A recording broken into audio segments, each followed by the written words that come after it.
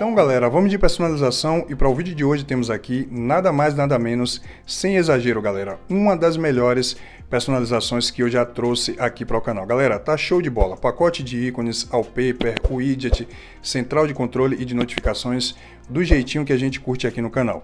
Todos os temas que nós vamos utilizar aqui estão disponíveis diretamente na própria loja de temas da MIUI e também no arquivo em MTZ. Então serve para todo mundo, linha Poco, linha Redmi, linha Mi, não precisa de root e nem de bootloader desbloqueado.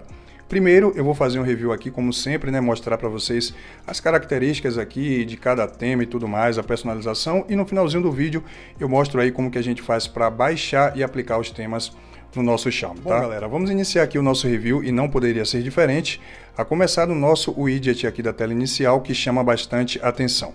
E esse aqui, galera, é o tipo de widget que mais me agrada. Por quê? Temos aqui várias informações em um widget só, né? Teríamos que utilizar aqui três widgets, né? Para obter aqui todas essas informações que apenas esse widget aqui já traz para a gente. Como vocês estão vendo, temos aqui a hora, o dia, o mês, a data e ainda temos aqui informações de temperatura, né? E a depender de onde a gente clicar aqui, galera, por exemplo, vamos clicar aqui na hora, somos imediatamente redirecionados aqui para o aplicativo de relógio. Clicou aqui na temperatura, aplicativo de clima, né? Clicou aqui, ó, na, na data e tudo mais, calendário. Então é um widget inteligente e poupa espaço aqui na tela inicial. A gente não precisa poluir né, a tela inicial com vários widgets. Então é o que mais me agrada e ele é bem elegante aí, tá show de bola. Galera, esse widget aqui ele é ideal para se utilizar com layout 4x6, que é o layout que a gente tem por padrão aqui na Poco Launch. Eu estou utilizando aqui o Poco F4, bem sujo, né? Diga-se de passagem, mas ele fica legal, galera, com layout 4x6. Se vocês utilizarem aí com layout 4x7, as informações vão ficar amontoadas aqui, né? Como a parte da cidade e essas nuvens aqui acabam ficando não muito legal. Mas dá para utilizar também com 4x7, mas quem é muito minimalista aí não vai curtir muito não. Outra coisa muito importante, ó, notem que se eu colocasse aqui, ó, é, o ícone de algum aplicativo, iria ficar ó, estranho, porque aqui a proximidade entre um e outro, né, o espaço aqui é um tamanho e aqui já é outro tamanho. Então o que é que eu fiz? Né, a personalização ela não pode ser feita aleatória, né, ir jogando ícone, widget. Não, não é bem assim que funciona, galera.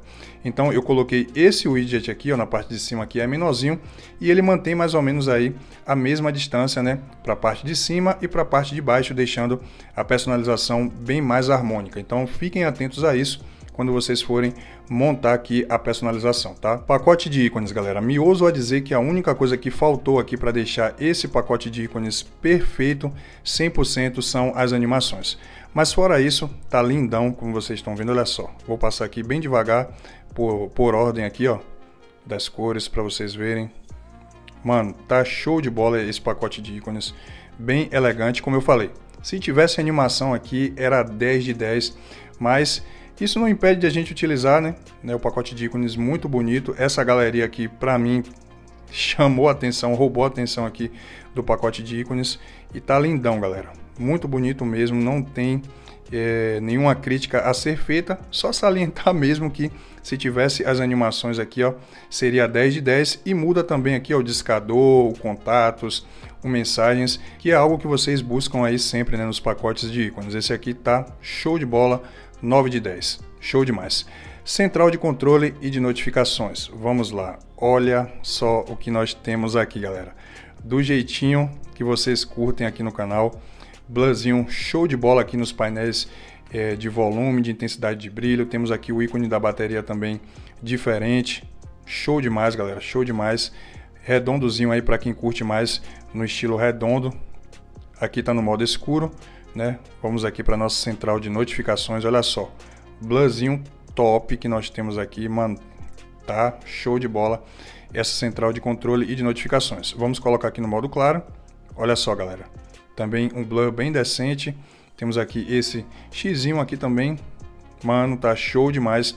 E esse tema aqui, galera, não tem é, aquele bug aí de quando chegam as notificações, não dá para ler. Não, dá para ler tudinho aqui, tanto no modo claro como no modo escuro. Vocês podem utilizar aí sem problema nenhum. E o nosso wallpaper, né, com um blurzinho aí também, principalmente para a galera que tem é, dispositivo da linha Poco, utilizem sempre é, wallpaper que tenha o blur, né? Eu utilizo esse aplicativo aqui, ó, galera. Já deixar a dica aqui para vocês. Point Blur para colocar o blur nos wallpapers, tá? E é uma dica show de bola para gente que utiliza pouco Launcher e não tem o blur nas pastas como tem na Mi Launcher, né? Então dá esse aspecto aqui, ó, show de bola. Sem muita enrolação, vamos aqui partir para o que de fato interessa, que é baixar e aplicar os temas. Galera, vocês vão vir aqui na aba de pesquisa, né, e vão baixar esses três temas aqui, ó. Eu já, já estou com eles baixados aqui.